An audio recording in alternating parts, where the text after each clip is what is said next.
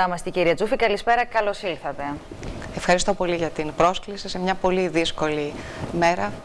Είμαι στη διάθεσή σας. Είναι πολύ δύσκολες γενικά οι τελευταίες ημέρες, κυρία Τζούφη, και πραγματικά είναι από τις ημέρες που δεν ξέρω από πού να αρχίσω και πού να τελειώσω. Καταρχήν δεν ξέρω τι θα πρέπει να πούμε σε όλο αυτό το κόσμο που αγωνιά όπως αγωνιούμε όλοι μας ε, για το μέλλον, για την κατάσταση, για το τι θα συμβεί στη χώρα μας. Διότι είναι πολλά αυτά που ακούμε. Ακούμε για χρεοκοπία, ακούμε για τράπεζες που αδειάζουν, ακούμε πάρα πολλά πράγματα τις τελευταίες ώρες. Κοιτάξτε, αυτό που μπορούμε να πούμε σε όλο τον κόσμο ε, ή εν πάση περιπτώσει στον κόσμο της μισθωτής εργασίας, τους συνταξιούχους, τους ανθρώπους που αγωνιούν πάρα πολύ για την καθημερινότητά τους, είναι ότι αυτή η κυβέρνηση προσπάθησε πάρα πολύ σκληρά όλους αυτούς τους μήνες που ο λαός την εξουσιοδότησε να τον αντιπροσωπεύσει, να υπερασπίσει στο βαθμό που μπορούσε τα δικαιώματά του. Τι εννοώ με αυτό, να μπορέσει να επιτύχει μία συμφωνία που στις πολύ δύσκολες οικονομικές συνθήκες που βρισκόμαστε βεβαίως περιέχει απόδινα μέτρα, βεβαίως είναι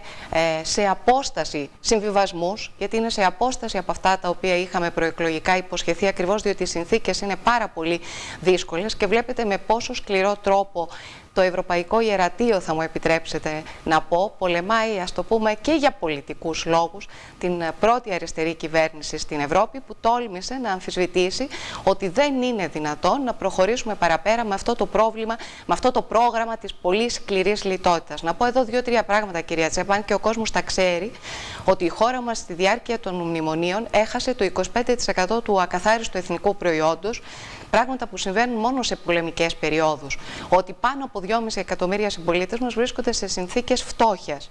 Ότι έχουμε αύξηση της παιδικής φτώχειας, είμαστε πρωταθλητές στην Ευρώπη. Έχουμε αύξηση της νησιμότητα. Δηλαδή, ήδη την προηγούμενη πενταετία με τις πολιτικές που ακολουθήθηκαν έχουμε καταβαράθρωση κάθε αξίας της ανθρώπινης ζωής, του κοινωνικού κράτους Θέλω να πω δηλαδή ότι πραγματικά βρισκόμαστε σε μια πολύ δύσκολη συνθήκη. Αυτό που ζητάνε οι Ευρωπαίοι εταίροι και το οποίο αρνούμαστε από την πρώτη στιγμή να υπογράψουμε είναι μια συνθήκη η οποία να συνεχίζει την ίδια ακριβώς πολιτική που στην Ελλάδα, το ξέρουν και αυτοί, με δικές τους επιλογές απέτυχε ε, παταγωδός και το έχει ζήσει όλος ο κόσμος και δεν βγάζει πουθενά. Ένα αποτυχημένο πρόγραμμα. Αυτό που λέμε εμείς είναι ότι σε αυτές τις πολύ δύσκολες συνθήκες, μετά από σκληρούς μήνες διαπραγμάτευσης, μπορούμε να συζητήσουμε. Έχουμε καταφέρει να δεχτούν ότι δεν είναι δυνατόν να υπάρχουν μεγάλα πλεονάσματα. Να θυμίσω εδώ ότι η προηγούμενη κυβέρνηση για αυτή τη χρονιά μιλούσε για ένα πλεόνασμα 3%. Αυτό έχουν δεχθεί ότι δεν μπορεί να είναι πάνω από 1% και βρισκόμαστε στην μέση ή εν πάση περιπτώσει έχουν γίνει πολλές προτάσεις για να καλυφθεί αυτό το δημοσιονομικό κενό που πάλι όμως και αυτές οι προτάσεις εκ μέρους μας έχουν ταξικό πρόσημο. Θέλω να πω εδώ σε αυτούς που λένε υπογράφουν υπογράψτε εδώ και τώρα τη συμφωνία και γιατί καθυστερείτε και γιατί μας εκθέτετε σε κίνδυνο ότι όταν ο Πρωθυπουργός ήρθε στη Βουλή και είπε ποια είναι τα μέτρα των πιστωτών, όλοι εν πάση περιπτώσει, το μεγαλύτερο κομμάτι της Βουλής είπε ότι αυτά τα πράγματα δεν είναι δυνατόν να ψηφιστούν. Δηλαδή, να κοπεί το ΕΚΑΣ, να αυξηθεί ο ΦΠΑ στον ηλεκτρισμό, να ελαττωθούν ακόμη περισσότερο οι συντάξεις και οι μισθοί.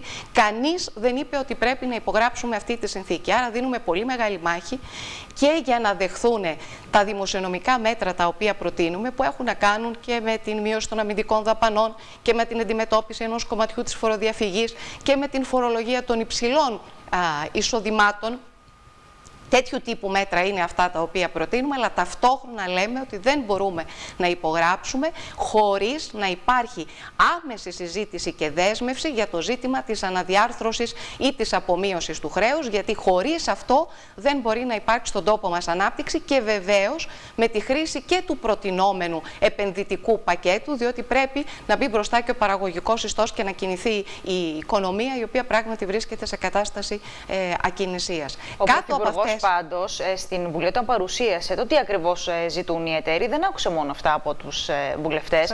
Το ότι δηλαδή δεν μπορούμε να ψηφίσουμε, να στηρίξουμε αυτά τα μέτρα. Όχι, ε, αναφερόμουν και, και στην αντιπολίτευση. Ε, δέχτηκε όμως και κριτική από την αντιπολίτευση. Μάλιστα του, του ζητήθηκε να αναλάβει τις ευθύνες του και να αποφασίσει εδώ και τώρα τι θα πρέπει να γίνει. Ναι, αυτό προσπάθησα να σας εξηγήσω. Είναι πολύ σαφές. Αυτό που είπε ο Πρωθυπουργός είναι ότι αυτό που προτείνουν οι δανειστές είναι αυτό που περιέγραψα πριν. Και ρώτησε με πολύ σαφή τρόπο είναι δυνατόν αυτά τα μέτρα να γίνουν αποδεκτά από τον ελληνικό λαό και να οδηγήσουν σε μια οποιαδήποτε λύση; Η απάντηση είναι από όλους ότι δεν είναι δυνατόν να γίνουν αποδεκτά αυτά τα μέτρα. Αλλά αυτό που ζητάει αυτή, αυτή τη στιγμή ο Πρωθυπουργός είναι τη στήριξη στα μέτρα αυτά που προτείνουμε, τα οποία όμως πρέπει να είναι μέσα σε αυτό το πλαίσιο που σας εξήγησα. Δηλαδή να περιλαμβάνουν οπωσδήποτε την δέσμευση για την απομείωση του χρέους, αλλά και την δυνατότητα να χορηγηθεί στην Ελλάδα και υπάρχουν τέτοια επενδυτικά πακέτα για να ξεκινήσει και να πάρει μπροστά η οικονομία. Αλλιώς ξαναγυρίζουμε στο προηγούμενο σπιράλ των 5-6 ετών που οδηγεί, ας πούμε, στο θάνατο όλη τη ελληνική κοινωνία και σας έδωσα κάποια στοιχεία που περιγράφουν αυτή την κατάσταση ήδη που τη βιώνουμε όλοι μας. Mm ε, Σας άκουσα στις δηλώσεις που παρακολουθήσαμε και πριν λίγο να λέτε ότι πρόκειται στην ουσία για μια ολομέτωπη επίθεση προκειμένου να αναγκαστεί η πρώτη αριστερή κυβέρνηση να αποχωρήσει ανεφόρων. Δηλαδή, μιλάτε για μια συνομιοσυλλογία προκειμένου να αποχωρήσει η αριστερή κυβέρνηση, όχι, όχι, η κυρία ναι. Τζούφη. Δηλαδή, θέλω να πω ότι αυτό που έχουν στο μυαλό τους οι εταίροι είναι να καταστρέψουν έναν ολόκληρο λαό για να αποχωρήσει η πρώτη αριστερή κυβέρνηση. Όχι. Αυτό που έχουν στο μυαλό τους οι εταίροι είναι ότι είναι η πρώτη κυβέρνηση η οποία τόλμησε να αμφισβητήσει το νεοφιλελεύθερο δόγμα της απόλυτης σκληρής λιτότητας, η οποία όμως έτσι όπως εφαρμόστηκε στην πατρίδα μας, οδήγησε σε βαθιά ύφεση και σε βαθιά ανθρωπιστική ε, κρίση. Άρα μπορεί δεν λέω ότι έχουν όλη την ίδια ε, άποψη. Έτσι και σε αυτό ευελπιστούμε και πιστεύουμε ότι θα επικρατήσουν εκείνες οι γνώμες που θα οδηγήσουν στην ε, λύση αυτού του προβλήματος, η οποία πρέπει να είναι μέρος της ευρωπαϊκής ε, λύσης, γιατί εμείς πιστεύουμε ότι η πατρίδα μας πρέπει να είναι ε, μέσα στην Ευρώπη, αλλά και η Ευρώπη πρέπει να δείξει την αλληλεγγύη της. Λέω λοιπόν ότι υπάρχουν εκεί, αυτό προσπάθησα να πω, και ακραίες φωνές, οι οποίες πιστεύουν ότι πρέπει να χρησιμοποιηθεί η μέθοδος του παραδείγματος έτσι ώστε άλλοι λαοί που και αυτοί βρίσκονται σε αγωνία, σε κινητοποιήσεις. Ξέρετε, έχουμε το παράδειγμα της Ισπανίας με τους Ποδέμους. Να μην ξεχνάμε εδώ, το Δεκέμβρη μπορεί να υπάρξουν εκλογές στην Ισπανία και είναι πιθανόν αυτό το υπόδειγμα να χρησιμοποιηθεί και από άλλους ευρωπαϊκούς λαούς για να σταματήσει αυτή η πολιτική η οποία συσσωρεύει χρήματα στις ελίτ και ε, καταδικάζει τον κόσμο της εργασίας, φτωχοποιεί τη μεσαία τάξη και εξοντώνει τα εργατικά και φτωχά ε, στρώματα. Γι' αυτό επιμένατε ότι δεν είναι οικονομικό το ζήτημα, αλλά είναι καθαρά πολιτικό πλέον. Ναι, νομίζω ότι αυτό έχει αποδειχθεί, δεν είναι πια τεχνοκρατικό. Έχουν προταθεί όλες εκείνες οι λύσεις.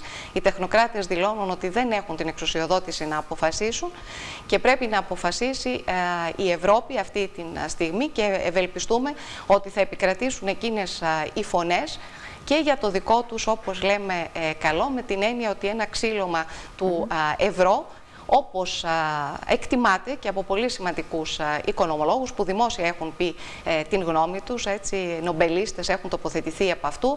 Αν ξεκινήσει αυτό το ξύλωμα από μία χώρα, τότε αυτό είναι δυνατόν να ακολουθηθεί από ένα γαϊτανάκι εξελίξεων και σε άλλες χώρες, με πολύ μεγαλύτερες από την δική μας οικονομία, ενώ οι εκτιμήσεις που γίνονται από την έξοδο της Ελλάδας μπορεί να επηρεάσουν, επαναλαμβάνω σύμφωνα με μελέτες οικονομικών παραγόντων, σε ένα πολύ σημαντικό ποσοστό το ακαθάριστο το εθνικό προϊόν της Ευρώπης όλης. Μιλάνε για μία πτώση γύρω στο 3,5% το οποίο θα υποστούν και οι λαοί αυτών των ε, χωρών. Άρα, υπάρχει το δικό τους καλό και υπάρχουν και άλλα δεδομένα, τα οποία επίσης λαμβάνονται υπόψη, όπως είναι τα γεωπολιτικά δεδομένα. Ξέρετε ότι η πατρίδα μας είναι ένας σημαντικός ε, κόμβος στην σχέση με την Ανατολή. Ξέρουμε τα πράγματα που επικρατούν στην Μέση Ανατολή με τις ακραίες Ισλαμιστικές οργανώσεις, με τους πολέμους, με την δυστυχία. Ξέρουμε επίσης τη σημασία που δίνουν στην διαφύλαξη των ενεργειακών δρόμων τόσο οι Ηνωμένες Πολιτείες της ε, Αμερικής όσο και το ΝΑΤΟ και σήμερα μάλιστα υπάρχει μια ανακοίνωση από το ΝΑΤΟ που λέει ότι πράγματι μια έξοδος της Ελλάδας μπορεί να δημιουργήσει σοβαρά ε, προβλήματα σε μια χώρα μέλος του ΝΑΤΟ όπως είναι η Ελλάδα και άρα πρέπει να ληφθεί και αυτός σοβαρός υπόψη. Ευελπιστούμε λοιπόν ότι πράγματι θα ληφθούν υπόψη αυτές οι παράμετροι και θα οδηγηθούμε σε μια καταρχήν ε, συμφωνία η οποία όμως θα μας δώσει την δυνατότητα ε, να επιβιώσει ο λαός μας και να ε, προχωρήσει και να βγει από αυτό το τρομερό σπιράλ της ύφεσης μέσα στο οποίο βρίσκεται.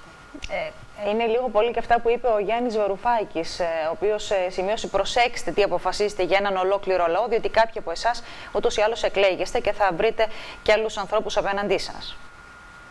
Υπόθηκαν αυτά από τον Γιάννη Βαρουφάκη. Αλλά ε, σημασία έχει λοιπόν, κυρία Τζούφη, τώρα ότι την Δευτέρα έχουμε μπροστά μας μια πολύ σημαντική σύνοδο κορυφής, μια έκτακτη σύνοδο κορυφής.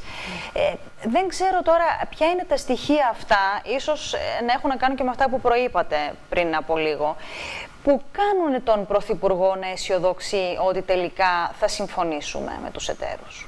Ε, προσπάθησα να περιγράψω κάποια από αυτά τα στοιχεία. Πρώτα απ' όλα ότι έχουμε ε, προτάσεις. Θα πω εδώ γιατί ξέρετε λέγεται δεν έχουμε προτάσεις. Να πω ότι δεν δόθηκε η δυνατότητα χθες στον Υπουργό Οικονομικών, στον Γιάννη Βαρουφάκη, να παρουσιάσει την ε, ολοκληρωμένη ε, πρόταση, η οποία περιλαμβάνει και αυτό που λέμε τα δικά μας μέτρα, που σας είπα πριν είναι μέτρα που ε, έχουν ταξικό πρόσημο και δεν πλήττουν τους πολύ φτωχούς ανθρώπους, διότι αυτός είναι ο λόγος που μας εξέλεξε για να δείξουμε ένα διαφορετικό δείγμα γραφής. Αυτό μας εξουσιοδότησε ο ελληνικός λαός. Εξήγησα ότι είναι και προς το δικό τους όφελος να μην καταστραφεί η ζώνη του ευρώ. Ξέρετε, αυτή τη στιγμή συζητείται η ενιοποίηση των οικονομιών της Ευρώπης και της Αμερικής. Ήδη συζητείται μια πολύ μεγάλη ε, συμφωνία. Βέβαια αυτό δεν πέρασε. Υπάρχουν δηλαδή πολύ σημαντικά και οικονομικά αλλά και γεωπολιτικά ε, συμφέροντα τα οποία θα οδηγήσουν κατά πάσα πιθανότητα σε μια λύση και τέτοια που να μπορεί ας πούμε, να γίνει ανεκτή ε, από το λαό μας. Mm Πάντως από τον Πρόεδρο του Ευρωπαϊκού Συμβουλίου ζητήθηκε από τη χώρα είτε να συμφωνήσει είτε να πάει σε χρεοκοπία. Εσείς τι πώς Κοιτάξτε, το νομίζω ότι σε αυτή την τελική φάση μπορούμε να χρησιμοποιήσουμε πάρα πολλές ε, δηλώσεις. Ε, είπατε πριν ότι δήλωσα κάποια πράγματα. Ξέρετε ότι γίνεται ένας οριμαγδός δηλώσεων. Η αλήθεια είναι ότι μπορεί κανείς ε, να μην προλαβαίνει κιόλας να δει ή από τις οποίες κάποιες υπερπροβάλλονται σε μια τελική φάση διαπραγμάτευσης, βγαίνουν όλα τα όπλα και χρησιμοποιούν όλες τις δυνατές πιέσεις για να εξαναγκάσουν σε υποχωρήσεις. Να πω εδώ ότι αυτό ήδη περιγράφτηκε και όχι μόνο για την πατρίδα μας, γιατί μου είπατε πριν, μόνο την Ελλάδα έχουν στο στόχαστρο. Βγήκαν σήμερα τα δεδομένα για το πώς αναγκάστηκε η Ιρλανδία να καταφύγει και να μπει μέσα στο μνημόνιο. Έτσι, και αυτά τα δήλωσε ο γραμματέας των Οικονομικών, ο κύριος Κάρντιφ, το 2010, που είπε ότι έγινε ένα ορυμαγδό πιέσεων και δημοσιευμάτων, ώστε να αναγκαστεί εν τέλει η Ιρλανδία να μπει στο α, μνημόνιο. Υπάρχει ένας τέτοιος ορυμαγδό πιέσεων και δηλώσεων. Σας είπα όμως ότι ευελπιστούμε ότι θα επικρατήσουν για το καλό όλων μας οι πιο σώφρονες ε, φωνές και θα είμαστε σε θετικό αποτέλεσμα την Δευτέρα στο Eurogroup. Ξέρετε, σαν χώρα από τη μία έχουμε κατηγορίες, ε, μας καταγγέλουν ή μας κατηγορούν, από την άλλη έχουμε έτσι και φωνές στήριξης. Μιλήσατε για δημοσιεύματα δημοσιεύματα έχουμε χαρακτηριστικά την Bild που λέει ότι θα πρέπει η Ελλάδα να, βρει από την, να βγει από την Ευρωζώνη για να σώσει τον εαυτό της, να σώσει όμως και την υπόλοιπη Ευρώπη. Από την άλλη, έχουμε τον πρόεδρο της Αυστρίας να σημειώνει ότι θα πρέπει τα επόμενα πέντε χρόνια να γίνει στάση πληρωμών προκειμένου να μπορέσει να ορθοποδήσει η ελληνική οικονομία. Κοιτάξτε, ε, ε, νομίζω ότι υπάρχει ένα επεξεργασμένο σχέδιο στο οποίο υπάρχουν μια σειρά από πολύ σοβαρές προτάσεις που περιλαμβάνουν. Να πω καταρχήν ότι, εν πάση περιπτώσει, αυτούς τους πέντε μήνες διακυβέρνησης, αν μου δίνετε την δυνατότητα, έγινε μια προσπάθεια να αρθούν κάποιες πολύ σοβαρές αδικίες που είχαν επισορεύσει τα πολλά χρόνια των μνημονίων. Θα θυμίσω μόνο δύο-τρία πράγματα. Ότι, για παράδειγμα, ε, το πρώτο νομοσχέδιο που ήρθε στην κυβέρνηση ήταν το νομοσχέδιο για την ανθρωπιστική κρίση, που αφορούσε την στήριξη των ανθρώπων που βρίσκονται σε ακραία φτώχεια.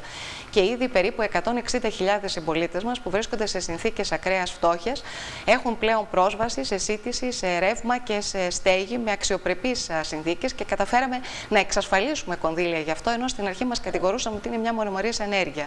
Να πω ότι καταργήσαμε το 5 ευρώ από τα νοσοκομεία και ότι προσπαθήσαμε να κάνουμε προσλήψεις, βεβαίως όχι έτσι όπως θα τις θέλαμε, όχι στις ανάγκες που υπάρχουν επικουρικών γιατρών και νοσηλευτών στα νοσοκομεία για να κρατήσουμε τα δημόσια νοσοκομεία όρθια. Να αποκαταστήσουμε αδικίες ανθρώπων που ήταν πάρα πολύ χρήσιμοι, όπως οι διαθέσιμοι στα πανεπιστήμια, οι καθαρίστες, οι οποίες είχαν χάσει την δουλειά τους, οι άνθρωποι στην τεχνική εκπαίδευση και οι οποίοι αυτή τη στιγμή είναι άνθρωποι χρήσιμοι για να στηρίξουν αυτό που λέμε δημόσιο σύστημα. Κάναμε προσπάθειες να επαναφέρουμε τη δημοκρατία ή να φτιάξουμε τους μηχανισμούς εκείνους για να συλλάβουμε τη φοροδιαφυγή, διότι ακόμη Και σήμερα έτσι υπάρχουν άνθρωποι οι οποίοι φοροδιαφεύγουν και οι οποίοι σε όλα αυτά τα χρόνια της κρίσης δεν προσέφεραν τίποτε εκεί που οι περισσότεροι φτωχοί άνθρωποι έχουν δώσει και έχουν συμβάλει σε πολύ μεγάλο βαθμό με τον οβολό τους και με το μερίδιό τους. Κάναμε το φορολογικό νομοσχέδιο και υπήρξαν συμπολίτες μας που αναγνώρισαν με τις διευκολύνσεις ότι πραγματικά θέλουν να στηρίξουν την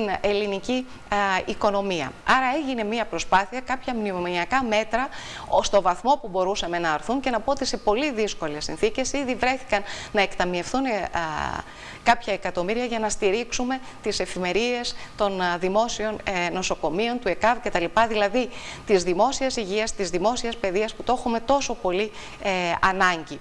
Ευελπιστούμε, επαναλαμβάνω, ότι τα μέτρα τα οποία προτείνουμε και που είπα ότι έχουν ταξικό πρόσημο, δηλαδή τι θα πει ταξικό πρόσημο, προσπαθούν να μεταφέρουν τον πλούτο από εκεί που είναι συσσωρευμένος και να τον ανακατανείμουν, να έχει αναδιαμετικό χαρακτήρα και σε καμία περίπτωση να μην προχωρήσουμε σε μέτρα που θα πλήττουν τους φτωχούς. Έτσι, την ε, επίπεδη αύξηση του, TPA, του ΦΠΑ, την κατάργηση του ΕΚΑ στην περαιτέρω μείωση των συντάξεων. Ξέρετε, οι συντάξεις έχουν μειωθεί στο 40%. Συζητούσαμε πριν ξεκινήσει αυτή η συνομιλία πώς οι γονείς μας έτσι καταφέρνουν να επιβιώνουν με τόσο χαμηλές συντάξεις. Άρα δεν υπάρχει εκεί πλέον καμία δυνατότητα και επιπλέον αυτό είναι και αντιαναπτυξιακό μέτρο, διότι αυτοί οι μικροί μισθοί ακριβώς πηγαίνουν και καταναλώνονται για να επιβιώσουν αυτοί οι άνθρωποι. Άρα πρέπει να γυρίσει το τιμόνι σε κάπως πιο διαφορετική άποψη διότι, και πορεία, διότι γιατί αλλιώς δεν υπάρχει επιβίωση του λαού μας. Και εμείς δεν θα το υπογράψουμε αυτό. Την ανασφάλεια πάντως δεν έχετε καταφέρει να ξεριζώσετε από, το, από τους ανθρώπους, ε, διότι τις τελευταίες μέρες γίνεται κυριολεκτικά ένας χαμός στις τράπεζες.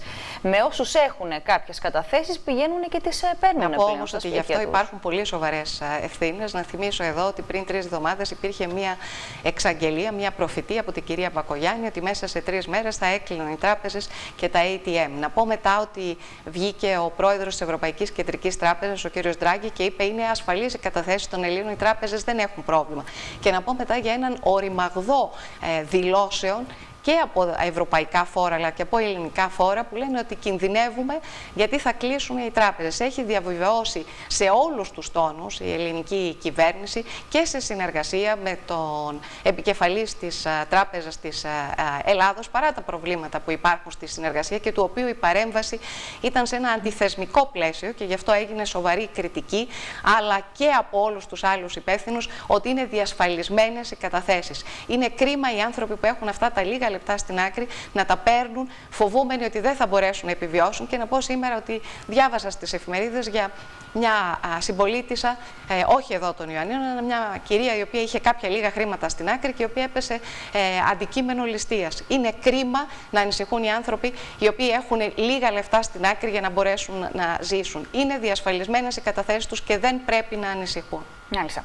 Κύριε Τζούφη, 49 βουλευτές ε, του ΣΥΡΙΖΑ, μεταξύ αυτών είστε και εσείς, ε, ζητούν να συζητηθεί στην Ολομέλεια το προκαταρκτικό πόρισμα για τη Επιτροπή Αλήθειας του Χρέους.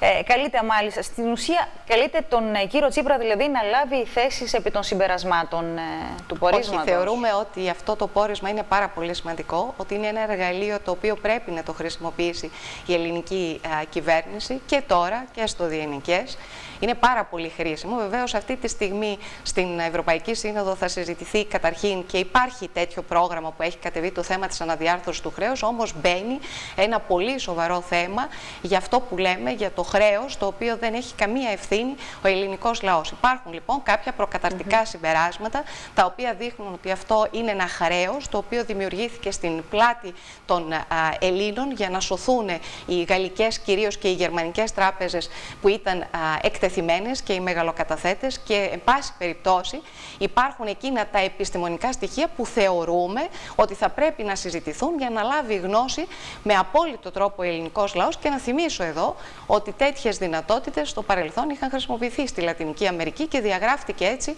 παραδείγματος χάρη στον σημερινό, ένα πολύ σημαντικό κομμάτι του χρέους που σημαίνει ότι έφυγε ένα πολύ μεγάλο βαρύδι από τις πλάτες του ελληνικού λαού και ε, η συμβολή μας σε αυτό είναι να μάθει, αυτός είναι ο λόγος να μάθει ο ελληνικός λαός αυτά τα συμπεράσματα ε, που έχουν ε, συζητηθεί για να γνωρίζει και να υπάρχει και ένα επιπρόσθετο εργαλείο στα χέρια της ελληνικής κυβέρνησης που εκείνη ε, ξέρει πότε θα πρέπει και αν πρέπει να το χρησιμοποιήσει. Ε, σύμφωνα με το πόρισμα όμως το χρέος θεωρείται ε, άκυρο, έτσι δεν είναι παράνομο. Ε, η κυβέρνηση όμως δεν μιλάει πλέον για διαγραφή του χρέους. Κοιτάξτε, στη φάση αυτή που βρίσκεται η κυβέρνηση, αυτό που συζητάει καταρχήν είναι η αναδιάρθρωση του χρέους. Όμως ένα σημαντικό κομμάτι του, διότι τα συμπεράσματα αυτά ακόμη δεν έχουν δει τη δημοσιότητα, είναι προκαταρτικά. Λέμε λοιπόν ότι να έρθουν, να τα ακούσουμε, να τα δούμε όλοι και να δούμε πώς αυτό το εργαλείο μπορούμε να το χρησιμοποιήσουμε για τους λόγους που είπα προηγουμένως. Μάλιστα. Να σας ευχαριστήσω πάρα πολύ που ήσασταν σήμερα κοντά μας, κύριε Δικιά μου η ευχαρίστηση και να πω στους συμπολίτες μας και αν μου επιτρέπετε και πιο ευρύτερα στον ελληνικό λαό ότι τον καλούμε να δείξει αποφασιστικότητα, ψυχραιμία και εμπιστοσύνη στην ελληνική κυβέρνηση και όλοι μαζί κρατώντας ο ένας το χέρι του άλλου θα τα καταφέρουμε. Πόση ψυχραιμία πια κυρία Τζουφή; Κάνουμε τα τελευταία χρόνια. Δεν ξέρω ναι. πόση ψυχραιμία υπάρχει πια και υπομονή Εγώ και θα, μου, θα, μου επιτρέπετε, θα μου επιτρέψετε κυρία Τσέπα να πω ότι δείχνει ψυχραιμία και αντοχή ε, ο ελληνικός ε, ε, λαός. Βεβαίως δικαιούται να αγωνιά όπως αγωνιούμε και ε, όλοι μας. Ε, λέω λοιπόν ότι είναι η ίστατη ώρα που πρέπει όλοι να δείξουμε αποφασιστικότητα ε, για να αλλάξουμε με σιγά σιγά με πάρα πολλές α, δυσκολίες, πιθανώς και με υπαναχωρήσεις στην πολύ δύσκολη ζωή για το μεγαλύτερο κομμάτι των ε, ανθρώπων αυτής της α, χώρας που με τύπμιο τρόπο δουλεύουν και προσπαθούν να φέρουν σε πέρα στην καθημερινότητά τους. Ε, να σας ευχαριστήσω πάρα πολύ και να σας ζητήσω να πάμε να δούμε μαζί και το επόμενο θέμα που είναι ένα γκάλωπ όπου οι πολίτες δίνουν τις δικές τους απαντήσεις σχετικά με την αβεβαιότητα που κυριαρχεί για τις τελευταίες εξελίξεις.